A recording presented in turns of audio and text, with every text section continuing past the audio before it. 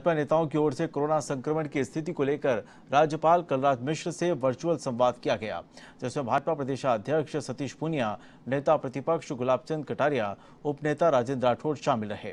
इस दौरान राज्यपाल को ऑनलाइन ज्ञापन भी भेजा गया। साथ ही ये बताया कि कोरोना की दूसरी लहर चिंताजनक है, जिसमें संक्रमण के साथ मौतों का आंकड़ा भी बढ़ रहा है। प्रदेश में संक्रमण की दर सबसे ज़्यादा है। साथ ही भाजपा ने केंद्र की ओर से दिए जा रहे सहयोग के लिए आभार भी जताया।